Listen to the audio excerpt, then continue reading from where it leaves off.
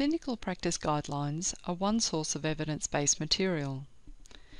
Once you've located a guideline, there, depending on your assignment requirements, there are a couple of things to consider.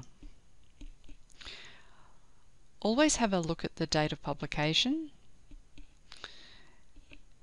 and you will often see that the review date is five years from publication.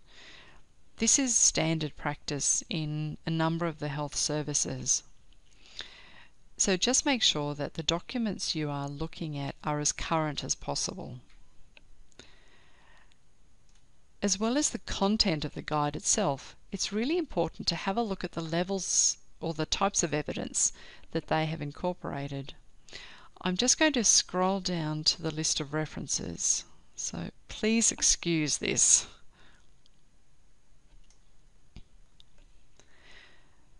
It's always worth quickly scanning through a list of references to see the types of resources that they have used. You can see here that they've used some of the UK NICE guides. They've identified some randomized control trials. They found some systematic reviews and meta-analyses.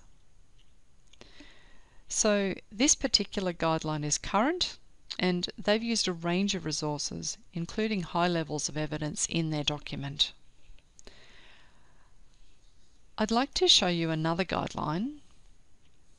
This one is published by one of our hospitals and it's a much briefer document than the first one.